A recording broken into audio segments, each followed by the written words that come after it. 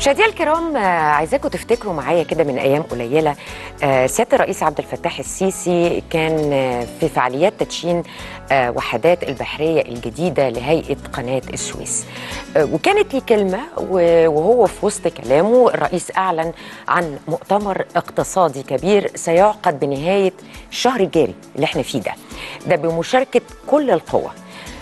خطوة ضرورية وده بيعكس اهتمام السيد الرئيس بمشاركة آراء الجميع في القرارات المهمة خاصة خاصة إن العالم بيمر بظروف اقتصادية آه، منذ يعني خليني أقول مش بس الحرب الروسية اليوكرانية لا إحنا بنتكلم من ساعة كورونا كمان. الحقيقة المؤتمر ده هيكون كاشف لكل الحقائق هيكون في رد على مشككين كتير وفي مروجين شائعات موجودين بشكل كبير هذه الأيام تحديدا عن المشروعات القومية الإنجازات اللي بتنفذها الدولة آه، منذ تولي الرئيس المسؤولية بمشاركة المستثمرين طبعا رجال الصناعة رجال الاقتصاد أصحاب الآراء. حتى المعارضة. كل ده بيدل على حرص الدولة على هدف واحد بس إن إحنا ننهض باقتصادنا الوطني إن إحنا نسمع آه المستثمرين رؤاهم إيه رجال الأعمال ممكن يضع حلول لتلك المشكلات الحالية. إزاي نقدر نواجه الأزمة الاقتصادية اللي أثرت على العالم كله خاصة تحديدا في مجالي الغذاء والطاقة واللي عمالة تزداد مع استمرار ارتفاع كبير في الأسعار العالمية والبنوك عمالة ترفع في أسعار ال- الفايدة عشان تقدر إنها آه، تقف قدام هذا التضخم العالمي. كل ده هنتكلم عليه والمؤتمر أهميته إيه وإيه اللي ممكن يطرح فيه والأفكار اللي ممكن قابلة للتطبيق في ظل الظروف الحالية. مع ضيفنا الكريم دكتور علي الإدريسي الخبير الاقتصادي وعضو الجمعية المصرية للإحصاء والتشريع. دكتور علي منور. بنوع حضرتك فندم.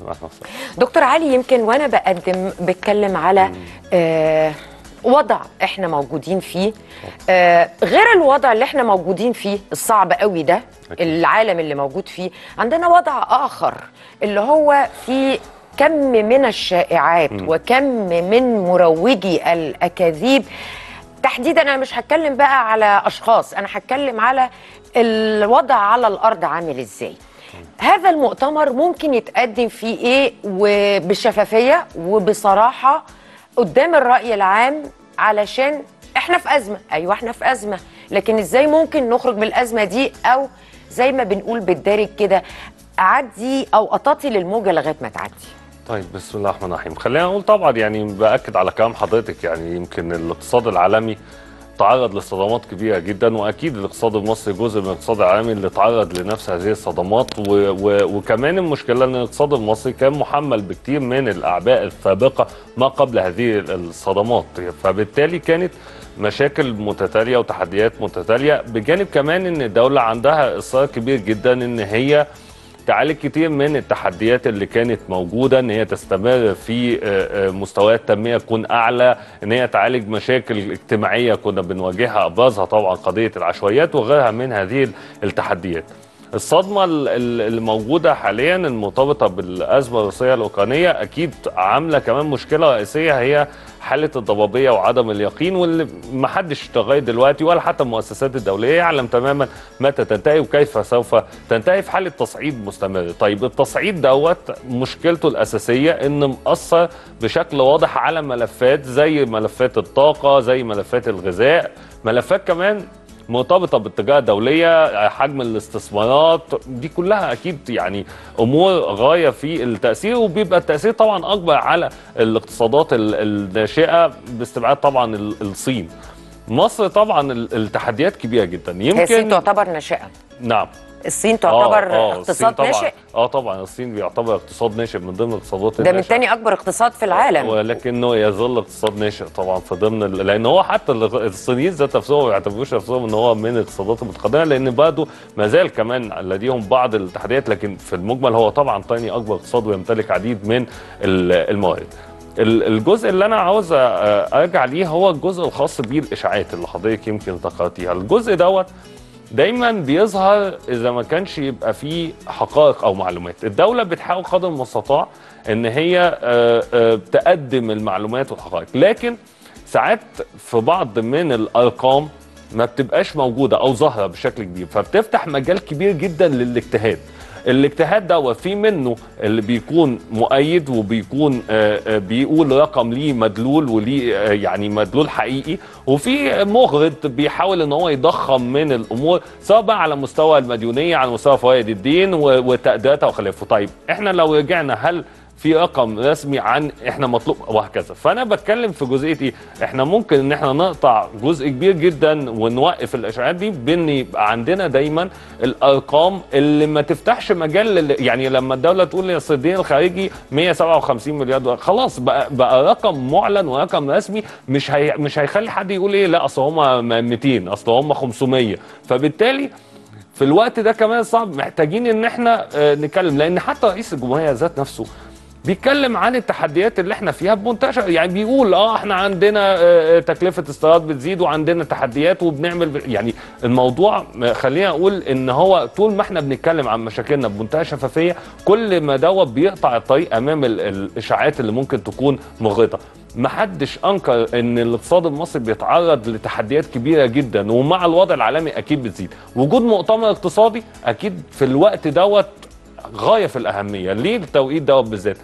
لأن برضو إحنا شفنا الفترة اللي فاتت كان في وثيقة ملكية الدولة ورئيس ال- الوزراء تحدث بمنتهى الشفافية عن خطة للتخارج وشرح جزء كبير من الخطة الموضوعة وكان يعني في مؤتمر صحفي دولي وكان غاية في الأهمية. لكن ميزة المؤتمر الاقتصادي إن إحنا يبقى في مشاركة أكبر من- قبل رجال الأعمال ومجتمع ال- الأعمال المتخصصين الأكاديميين بحيث إن يبقى في وجهات نظر للحلول وإزاي إن إحنا نقدر كمان ويا ريت أتمنى إن كمان في وسط المؤتمر دوت يبقى في مبادرة لدعم الاقتصاد المصري من قبل رجال الأعمال، إحنا شفنا تعاون واضح جدا من قبل رجال الأعمال فترة الكوفيد فترة كورونا وشفنا مساهمات مهمة جدا، أعتقد إن إن ده برضه محتاجينه في الوقت دوت وده يعني أقل حاجة طب دكتور. علي معلش أنا عايزة أقف شوية مع حضرتك اتفضل. لأنه إحنا يمكن الفترة اللي فاتت شفنا إنه العديد من آه، رجال الصناعة ورجال الأعمال عندهم مشاكل عندهم مشاكل واضحة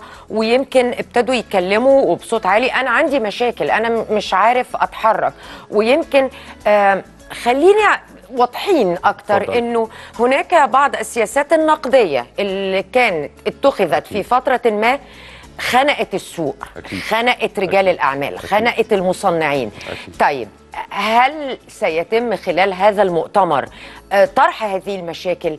آه، آه، جانب يعني أنا أعتقد إنه لازم يبقوا ال- ال- المجموعة الاقتصادية مع البنك المركزي يبقوا موجودين مع رجال الصناعة مع رجال الأعمال عشان نجد حل لهذه المشكلة.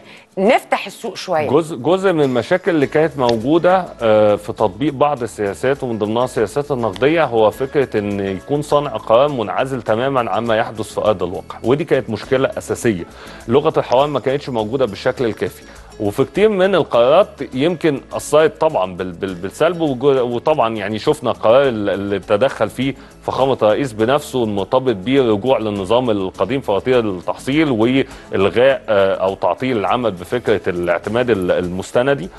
ويمكن إحنا شفنا مع وجود قائم بالأعمال محافظ ال- البنك المركزي الجديد شفنا إن بقى في اجتماعات مع الحكومة إزاي إن بقى في حديث عن كتير من التسهيلات. مش بتكلم بس على قطاع الصناعة حتى بالنسبة لقطاع السياحة وفكرة استخدام ال- الروبل وبالتالي دي كلها آه، آه، آه، أعتقد إن هي لأ في لغة حوار بقت موجودة عن الأول في تسهيلات ابتدت إن هي تتحرك. مش هنقول إن كل المشاكل دي هتتحل في في يوم لكن ابتدينا نشوف تدريجيا إن في قرارات. حتى بالنسبة للبنوك إحنا ابتدينا نشوف تعديلات بالنسبة للسحب وبالنسبة للإيداع وابتدى يبقى في نوع من أنواع التسهيلات بالنسبة للشركات عملية التقدير بالنسبة لحجم النقد الأجنبي اللي إحنا محتاجينه للمصانع مستلزمات إيه الإنتاج الموجودة. طب إيه اللي واقف في المواني ابتدينا نشوف وزارة المالية بتحاول إن هي تعمل تسهيلات وإعفاءات كبيرة جدا على البضائع اللي موجودة في المواني دي كلها واضح إن إن لأ يعني كل الأصوات اللي كان عندها مشاكل. الفترة اللي فاتت ابتدت إن هي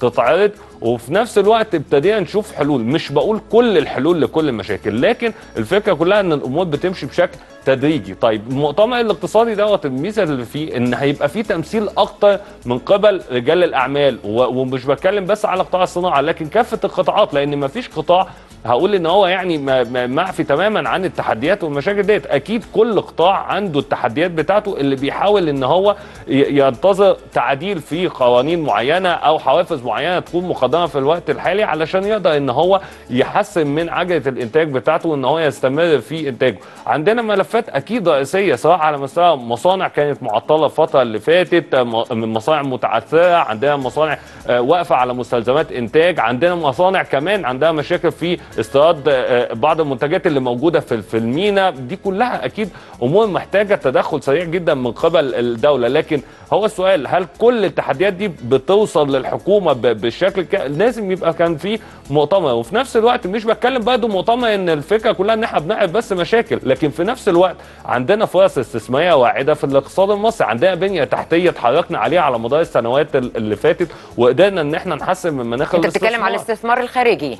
أو داخلي إزاي إن هو يزيد حتى؟ يعني هي الفكرة كلها ان أنا لما بخاطب أنا بخاطب المستثمر لأن حتى المستثمر المحلي هو مش شرط إن هو يستثمر في مصر ما هو ممكن مستثمر محلي ويستثمر في دولة تانية زي ما كنا بنشوف في فترات سابقة. وبالتالي أنا بتكلم على المستثمر بشكل عام سواء محلي أو أجنبي إزاي إن أنا أعرض له بشكل أكبر كل الفرص الاستثمارية الواعدة الجهود اللي الدولة بتقدمها والحوافز اللي بتقدمها بحيث إن أنا أزود من حجم الاستثمارات الخاصة. طب دكتور علي أنا يعني وقتي بي- بينتهي يعني بس عايزه أسألك سؤال الروبل اللي بت- هيبتدي يتم التعامل فيه عن طريق البنوك عادي. آه هيبتدي يخش طبعا يعني نبتدي. أقول لزملائي إن إحنا لما نقول أسعار العملة نقول الروبل نقول بكام؟ الروبل بكام؟ لأن كده كده ده هيفيد طبعا قطاع السياحة وفي نفس الوقت الناس حتى اللي بتقلل من من أهمية القرار. إحنا جزء كبير برضه بنعتمد عليه في التجارة على فكرة هو مش بس و- مصر اللي عملت كده ده عديد من الدول العربية طبعاً، بقت بتعتمد يعني آه، يعني أو يعني بقت وضع الروبل من ضمن سلة العملات. هي الفكرة كلها إن الاعتماد بس على الدولار وكمان مع الظروف والتدخل بتاع الفيدرالي ورفع أسعار الفايدة والأمور دي كلها دي غاية طب هل ده. ممكن إنه يخف شوية على الدولار أكيد، فنلاقي سعر أكيد. الدولار لازم. يعني أنا هقول لحضرتك حاجة ما إحنا أكيد بنتعامل مع آه، الصين بنتعامل مع روسيا في حاجات كتير لما ابتدي أتعامل بالروبل ممكن يخف شوية على الدولار هيخ- فممكن ألاقي الرقم بيختلف هيخف لأن في نفس الوقت أنا بشجع سياحة وفي نفس الوقت روسيا ذات نفسها أنا بستورد منها قمح وبستورد منها منتجات أخرى فبالتالي هو جزء مهم جدا إن الاقتصاد ما يبقاش تعويله على عملة واحدة بس وأنا بتكلم هنا هو على الاقتصاد المصري. في اقتصادات أخرى ممكن تكون رابطة عملتها بالدولار لكن أنا بتكلم على الاقتصاد المصري فكرة التعامل بسلة من العملات ده أكيد هيبقى فيه مرونة أكتر. فكرة إن أنا أدخل الروبل وكمان في التوقيت دوت أكيد ده هيخليني أستفيد لأن هناك عقوبات شايفينها ما بين التعامل التجاري ما بين روسيا والاتحاد الأوروبي فبالتالي روسيا عندها منافس تبتدي تتحرك عليها إن هي تخرج المنتجات بتاعتها. شفنا الهند والصين إزاي استفادوا من نعم. هذا الأمر. طبعا. إحنا برضه نقدر إن إحنا نستطيع إن إحنا نستفيد من صحيح. الفوائد الإنتاج اللي لدى روسيا وفي منتجات إحنا محتاجينها وسلع محتاجينها على راسها القمح طبعا. صحيح. آه، دكتور علي الإدريسي الخبير الاقتصادي وعضو الجمعية المصرية للإحصاء والتشريع أنا بشكرك. شكرا جزيلا. نورتنا يا فندم. بنور حضرتك. مشاهدينا الكرام بكده بتكون خلصت فقرتنا الاقتصادية الأسبوعية. دلوقتي هنطلع لفاصل وبعد الفاصل موعدكم مع الفقرة الطبية اليومية.